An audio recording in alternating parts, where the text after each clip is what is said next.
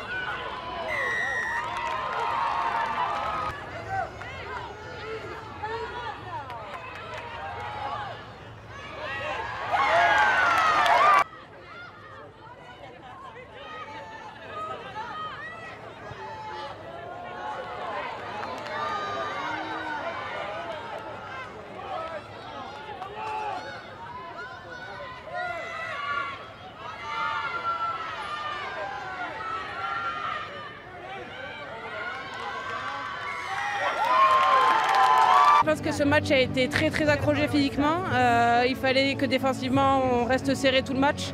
Et euh, après euh, nous perfectionner un peu notre zone de marque où on pêche encore un peu. Et aujourd'hui ça aurait pu nous coûter cher s'il y avait des minutes en plus.